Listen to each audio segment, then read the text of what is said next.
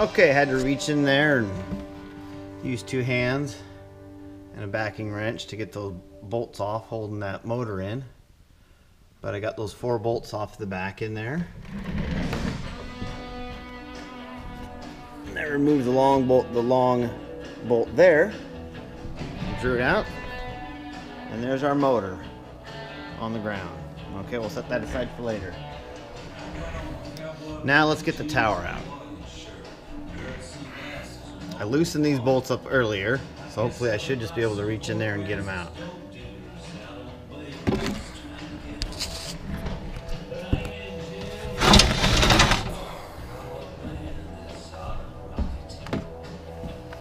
Sometimes